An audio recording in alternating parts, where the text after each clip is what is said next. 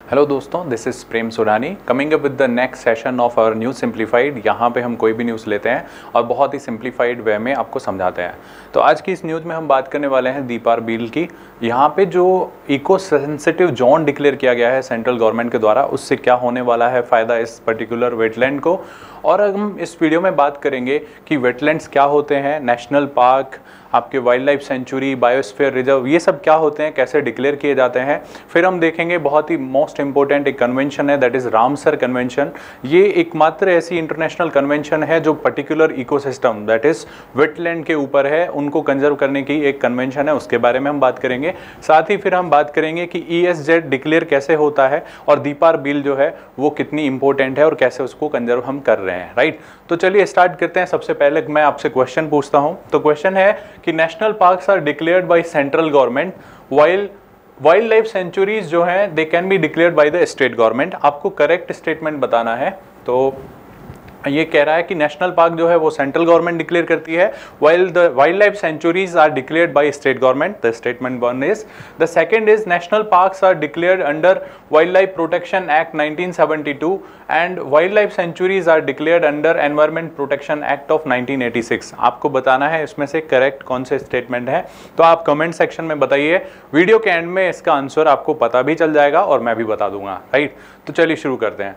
सबसे पहले अगर हम बात करें कि नेशनल पार्क और वाइल्ड लाइफ सेंचुरी क्या होते हैं? तो देखिए, हम किसी भी स्पीसीज को कंजर्व करने के लिए या पर्टिकुलर कोई जियोमॉर्फोलॉजिकली इंपॉर्टेंट एरिया है, कोई इकोलॉजिकली बहुत इंपॉर्टेंट एरिया है तो उसको कंजर्व करने के लिए हमने सेवेंटीज़ में ये सोचा कि हमें कुछ ऐसा कॉन्सेप्ट लाना चाहिए ताकि इनको कंजर्व कर सकें। तो इसके तहत हम वाइल्ड लाइफ प्रोटेक्शन एक्ट लाते हैं 1972 का। उसके तहत हम नेशनल पार्क्स और वाइल्ड लाइफ सेंचुरी दोनों ही डिक्लेयर करते हैं राइट तो आपको ध्यान रखना है कि wild life protection act of 1972 के under national parks and wild life sanctuary दोनों डिक्लेयर किए जाते हैं। दूसरा जो ये पावर है डिक्लेयर करने की that is given to the state governments right state government को जब ऐसा लगता है कि this particular area is geomorphology biologically important या फिर नेचुरली वो बहुत इंपॉर्टेंट है, या फिर इकोलॉजिकली वो बहुत इंपॉर्टेंट है तो उसे हम इसमें से वाइल्ड लाइफ सेंचुरी या नेशनल पार्क डिक्लेयर कर सकते हैं राइट लेकिन ऐसा नहीं है कि सेंट्रल गवर्नमेंट नहीं कर सकती। तो सेंट्रल गवर्नमेंट भी सर्टेन कंडीशंस में उनको लगता है कि ये एरिया इंपॉर्टेंट है तो can they can also declare a particular area as a national park और वाइल्ड लाइफ सेंचुरी तो दोनों ही कर सकते हैं, ऐसा कुछ नहीं है कि स्टेट कर सकता है बट इन जनरल स्टेट करते हैं राइट अब हम बात करें अगर नेक्स्ट कि national park and wild life sanctuary में डिफरेंस क्या है? तो डिफरेंस देखिए, ऐसा कोई मेंशन नहीं है किसी भी एक्ट में। Specially wild life protection act में ये मेंशन नहीं है, आप ध्यान रखना। बट द डिफरेंस जो होता है that is the degree of protection का। यानी कि अगर आपका नेशनल पार्क है तो उसमें डिग्री ऑफ़ प्रोटेक्शन ज़्यादा होगा। यानी कि कड़े नियम होंगे वहाँ पे। आप वहाँ जल्दी से एंटर नहीं कर पाएँगे ग्रेजिंग वगैरह अलाउ नहीं होगी और वहाँ पे रहना तो बिल्कुल अलाउ नहीं होगा। लेकिन in case of wildlife sanctuary जो डिग्री ऑफ़ प्रोटेक्शन होता है, वो थोड़ा कम होता है। यानी कि वहाँ पे पर्टिकुलर एक्टिविटीज़ थोड़ी अलाउ होती हैं, जैसे कि आप ग्रेजिंग के लिए भी वहाँ से रेगुलेशन के तहत ग्रेजिंग के लिए जा सकते हैं राइट और थोड़ा बहुत टूरिज़्म का भी बाहर आउटर स्पेस में अलाउ होता है। तो इस तरह से डिग्री ऑफ़ प्रोटेक्शन हमने देखा नेशनल पार्क में बहुत ज़्यादा होता है। और जो दूसरा डिफरेंस होता है कि नेशनल पार्क जो है किसी पर्टिकुलर स्पेसी को कंजर्व करने के लिए नहीं बनाया जाता।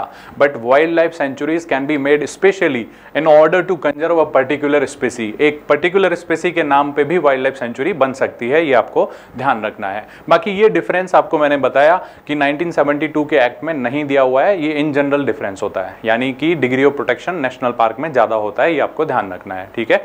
अब हम बात करते हैं, आगे चलते हैं। ये तो हमने देखा कि नेशनल पार्क और वाइल्ड लाइफ सेंचुरी क्या है? अब हम समझते हैं बायोस्फेयर रिजर्व्स क्या हैं। तो बायोस्फेयर रिज़र्व जो है, ये यूनेस्को का कॉन्सेप्ट है।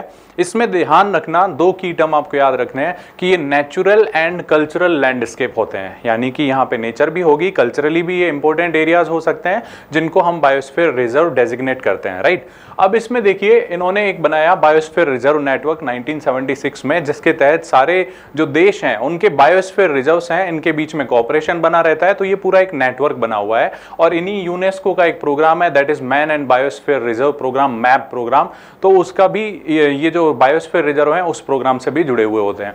अब अगर हम बात करें, मैंने आपको बताया, ये दोनों टर्म आपको ध्यान रखनी है। इसका जो कोर कॉन्सेप्ट है, वो है कि नेचर एंड ह्यूमन ह्यूमन जो है, इनके बीच में हमेशा हारमोनियस एग्जिस्टेंस बना रहे। तो हमेशा ध्यान रखना कि man is the central part of this particular conservation practice biosphere reserve का मतलब ही यही है कि आदमी और नेचर दोनों एक साथ रह सकें राइट तो आई होप आपको ये समझ में आ गया होगा। तो इसमें एक चीज़ ये हो गई कि नेचर एंड ह्यूमन साथ रहेंगे। दूसरा आप ध्यान रखना सस्टेनेबल डेवलपमेंट जब भी कोई टर्म आए, कि the conservation with sustainable development aim तो वो भी हमेशा आपका बायोस्फीयर रिज़र्व ही होगा राइट अब इसमें क्या होगा, जैसे पर्टिकुलर कंट्री है, जैसे इंडिया है तो इंडिया को लगा कि ये मेरे एरियाज़ मुझे बायोस्फीयर रिज़र्व डिक्लेयर कराने चाहिए। तो what they will do means what India will do India will send its recommendations और its proposal to International Coordination Council ICC जो इसकी होती है, वो क्या करती है, उसको क्राइटेरिया चेक करती है कि ये क्राइटेरिया हमारे फुलफिल हो रहे हैं और फिर उसको अपनी लिस्ट में शामिल कर लेती है। यानी बायोस्फीयर रिज़र्व रिज़र्व लिस्ट में हम आ जाते हैं राइट ये होता है प्रोसेस तो इंडिया ने ये प्रोग्राम ज्वाइन किया और उसके बाद इसकी खुद की नेशनल बायोस्फीयर रिज़र्व प्रोग्राम लाता है इंडिया 1986 में। तो बायोस्फीयर रिज़र्व आपको समझ में आया कि ह्यूमन इसमें बीच में होगा सेंटर में होगा नेचर के साथ। इसमें आपको ध्यान रखना है, तीन एरिया होते हैं। सबसे सेंटर में होता है that is core area core area में आपका सारा जो स्पीसीज होंगी कंजर्वेशन होगा, वो सारा यही होगा। यहाँ पे आप कोई बस नहीं सकते, बसावट नहीं होगा रेजिडेंस नहीं होगा। Except research purpose you can not enter into this area core area में आप नहीं जा सकते but yes research is allowed ठीक है? तो पहला हो गया आपका कोर एरिया देन उसके बाद होता है buffer this is buffer area buffer area क्या होता है? In order to decrease the pressure on core area जब भी कोर एरिया के ऊपर प्रेशर आता है तो आप बफर एरिया बनाते हैं। तो बफर एरिया में आपकी देखिए क्या क्या अलाउ है? एक्टिविटीज़ एजुकेशन पर्पज से आप जा सकते हैं, वहाँ पे टूरिज़्म के लिए जा सकते हैं रिसर्च के लिए भी जा सकते हैं। तो education research tourism all the things are allowed in buffer area ठीक है? बफर आपको याद रखना है शॉक एब्जॉर्बर का काम करते हैं कोर एरिया का प्रेशर कम करते हैं। This is the core area this is buffer area ठीक है, इसके बाद आपका जो होता है, ये होता है पूरा बाहर जो है दैट इज़ ट्रांजिशनल एरिया ठीक है? तो ये आपका कॉन्सेप्ट होता है बायोस्फीयर रिज़र्व में। अब हम बात करते हैं नेक्स्ट हमारी दैट इज़ कि किस तरह से बायोस्फीयर रिज़र्व को डिक्लेयर करना है, उसके क्या क्राइटेरिया होते हैं? तो आपको ध्यान रखना है, दो तरह के क्राइटेरिया होते हैं। पहला होता है प्राइमरी क्राइटेरिया प्राइमरी क्राइटेरिया में आपको ये दिमाग में रखना है कि जो कोर एरिया होता है that must be undisturbed in nature यानी कि वो डिस्टर्ब्ड नहीं होना चाहिए प्लस वो बायोजियोग्राफिकल रीजन होना चाहिए, जहाँ पे स्पीसीज हो, जहाँ पे एक पूरा जियोग्राफिकल रीजन हो, ताकि स्पीसीज रह पाए और रिसर्च का भी एरिया होना चाहिए। फिर होती है दूसरे जो criteria that is secondary criteria तो सेकेंडरी क्राइटेरिया में क्या क्या होता है कि there must be some endemic species वहाँ पे रेयर स्पीसीज हो। तो पहला होगा स्पीसीज हो। दूसरा होगा माइक्रो क्लाइमेट या फिर जो वहाँ का सॉयल सिस्टम हो, वो थोड़ा यूनिक हो और सपोर्ट करता हो इस तरह की स्पीसीज के कंजर्वेशन के लिए। And the third one would be कि वहाँ पे जो ट्राइबल पीपल हो, या फिर जो भी लोग वहाँ पे रह रहे हो, उनको भी सपोर्ट करें। तो ये सेकेंडरी क्राइटेरिया है। लेकिन प्राइमरी क्राइटेरिया हमेशा रहेगा कि कोर सिस्टम जो है आपका कोर एरिया है, वो हमेशा अनडिस्टर्ब टाइप का ही रहे। अब आपको समझ में यह आ गया होगा कि बायोस्फीयर रिज़र्व जो है, वो यूनेस्को डिक्लेयर करता है। लेकिन एक चीज़ ध्यान रखना कि इसका मतलब ये नहीं है कि हम, हमने वो पर्टिकुलर एरिया यूनेस्को को दे दिया। नहीं यूनेस्को ने सिर्फ़ रिकॉग्नाइज किया है और वो इंटरनेशनली एक बड़े प्लेटफॉर्म पे रिकॉग्नाइज हुआ है तो इंपॉर्टेंस बढ़ जाती है। And that would be the reason कि इंडिया उसको अच्छे से कंजर्व करेगा। तो ध्यान रखना लीगल स्टेटस की अगर बात करें तो बायोस्फीयर रिज़र्व जो है वो लीगली इंडिया का ही है। कुछ भी नहीं हुआ है सिर्फ़ इंटरनेशनली हमने रिकॉग्नाइज कराया है। हाँ, ठीक है?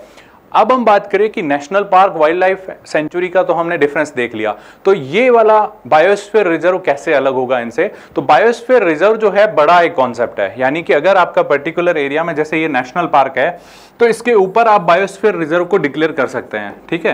तो बायोस्फीयर रिज़र्व जो है बड़ा कॉन्सेप्ट है, जिसमें कई सारे वाइल्ड लाइफ सेंचुरीज या फिर नेशनल पार्क भी आ सकते हैं, ध्यान रखना है। ये अगर नेशनल पार्क है तो उसको आप बायोस्फीयर रिज़र्व में भी शामिल कर सकते हैं। कोई और डब्ल्यूएलएस वाइल्ड लाइफ सेंचुरी भी इसमें हो सकती है। तो बायोस्फीयर रिज़र्व का जो कॉन्सेप्ट है that is to augment the conservation practices under national park और वाइल्ड लाइफ सेंचुरीज इसका मकसद है कि उस कंजर्वेशन प्रैक्टिस को और अच्छे से मज़बूत करना। तो आई होप आपको ये तीनों समझ में आगे होंगे।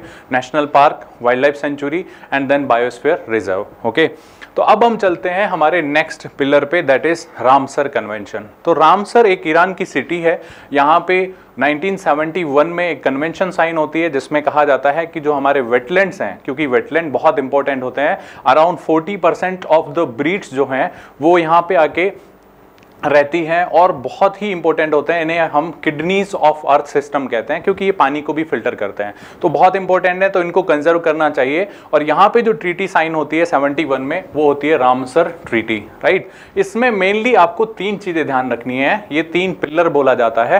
पहली बात तो एक चीज़ ये समझ लीजिए कि ये इंटर गवर्नमेंटल ट्रीटी है, यानी गवर्नमेंट टू गवर्नमेंट के बीच में इसमें कोलेबोरेशन होता है, ठीक है? और इसको जो चलाती है that is Ministry of External Affairs के थ्रू ये चलता है पूरी की जो ये ट्रीटी है, उसको ये हैंडल करता है। हर देश की मिलिट्री ऑफ़ एक्सटर्नल अफेयर इसको हैंडल करता है। इसके बाद अगर हम बात करें तो there are three important pillar of this convention the first जो इसका पिलर होगा that is the wise use of the wetlands मतलब वेटलैंड्स को अगर हमें कंजर्व करना है तो उनका वाइजली एंड सस्टेनेबल यूज़ करना होगा। That is the first pillar है ना आइडिया ही जो है रामसर कन्वेंशन का that is the wise use ठीक है?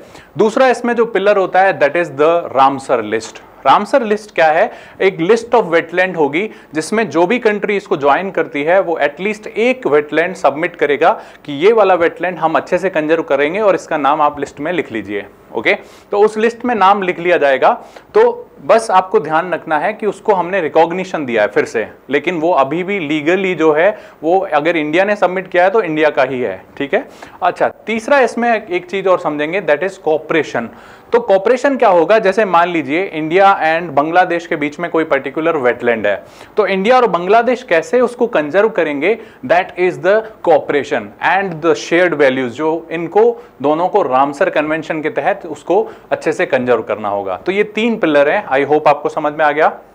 रामसर जो लिस्ट है, उसमें ध्यान रखना है कि एक वेटलैंड एक कंट्री मिनिमम देगी।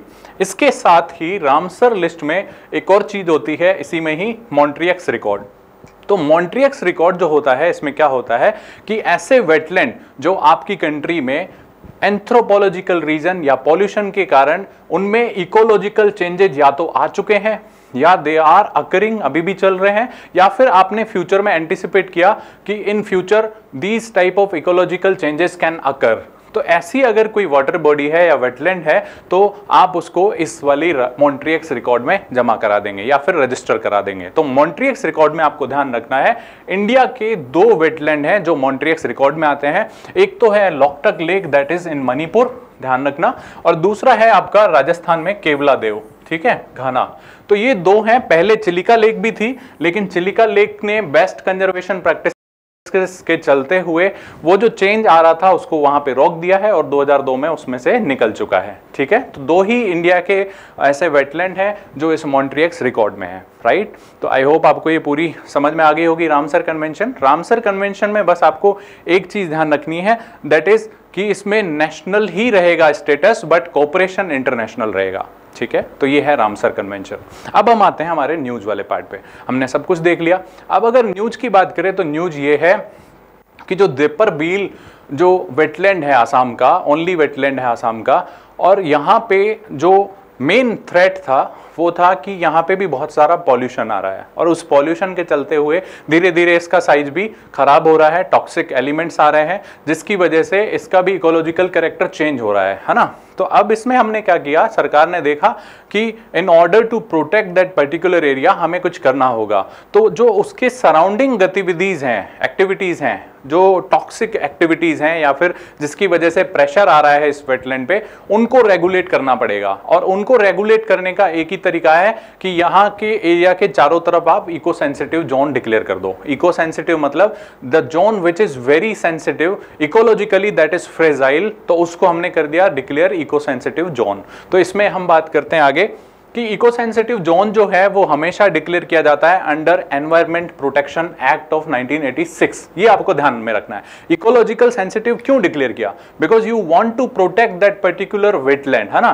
तो जब भी आप किसी पर्टिकुलर वेटलैंड को सेव करना चाहते हैं मतलब आप क्या कर रहे हैं? एनवायरमेंट को प्रोटेक्ट करना चाह रहे हैं तो दैट इज़ वाई कि ये एनवायरमेंट प्रोटेक्शन एक्ट के तहत ही डिक्लेयर किया जाता है। एंड ध्यान रखना, ये जो है मिनिस्ट्री ऑफ़ जो फॉरेस्ट होती है एंड क्लाइमेट चेंज वो डिक्लेयर करती है, हमेशा याद रखना है। इसके बाद इसका जो क्राइटेरिया होता है, जैसे for example this is the wetland तो 10 kilometre of the surrounding area this 10 kilometre of the surrounding area can be declared as E S Z under these norms लेकिन ध्यान रखना, ये कोई हार्ड एंड फास्ट रूल नहीं है कि 10 kilometre ही होगा। अगर यहाँ पे कोई ऐसा स्ट्रेच होती for example this is the lake and there is a particular space जैसे यहाँ पे कोई पर्टिकुलर स्पेसीज रहती हैं important and this is the corridor तो आप ये पूरा का पूरा एरिया डिक्लेयर कर सकते हैं, चाहे वो 10 किलोमीटर से ऊपर ही क्यों ना जा रहा हो, ठीक है? तो ऐसा नहीं है कि 10 किलोमीटर ही होगा, ज़्यादा एरिया भी हम इसमें डिक्लेयर कर सकते हैं। इसमें जो मेन चीज़ें आपको समझनी है दैट इज़ यहाँ पे जो दीपार लेक है, इसमें ध्यान रखना, दीपा और दीपा और बील है ना? तो दीपार बील जो है ये वर्ड दीपा है, इसका संस्कृत में मतलब होता है हाथी एलिफेंट्स तो एलिफेंट्स का यहाँ पे बहुत बड़ा कॉरिडोर है एलिफेंट्स यहाँ पे रहते हैं. तो यहाँ से एक रेलवे लाइन गुजरती है, जो इस पूरी लेक सिस्टम के अराउंड जो एलिफेंट्स हैं, उनके लिए बहुत बड़ा थ्रेट है, ठीक है? तो जो कैरेक्टर्स चेंज हो रहे हैं, हमने देख लिया, उसके लिए ई एस जेड हमने डिक्लेयर कर दिए. But in order to protect these species of elephants also हमें वहाँ पे कुछ और भी करना होगा, ताकि हम उसको अच्छे से बचा सकें. तो ये सारा था वीडियो, इसमें आपने सब कुछ समझ लिया होगा. क्या है दीपार लेक और कैसे कैसे इश्यूज़ थे, हमने सब देख लिए। अब हम चलते हैं वापस हमारे क्वेश्चन की तरफ़। अब क्वेश्चन में पहला स्टेटमेंट है the national parks are declared by the central government yes that is true but state government भी करता है, ये ध्यान रखना है। While W L S can be declared by state government only नहीं सेंटर भी कर सकता है। दैट्स वाई ये स्टेटमेंट हो गया आपका रॉन्ग इसके बाद है national parks are declared under wildlife protection act ठीक है ये? लेकिन आगे क्या कह रहा है? W L S are declared under environment protection act that is wrong तो both of the statements are wrong none of them is correct ठीक है? तो आंसर वुड बी सी तो ये था आज का जो हमारा सेशन था। आपको अगर ये समझ में आ चुका है वीडियो तो हम इन सभी प्लेटफॉर्म पर मौजूद हैं आपके लिए। आप हमसे वहाँ पे कनेक्ट हो सकते हैं, हमें ज्वाइन कर सकते हैं और इस वीडियो को ज़्यादा से ज़्यादा शेयर करें और सब्सक्राइब करें। साथ ही साथ कॉमेंट करके ये ज़रूर बताइएगा कि आपको ये वीडियो कैसा लगा। Thank you very much for watching this video current affairs by Forum I S is an all in one programme that covers the dynamic aspect of the syllabus from both prelims and mains perspective last year we have help more than hundred students crack I with R current affairs classes.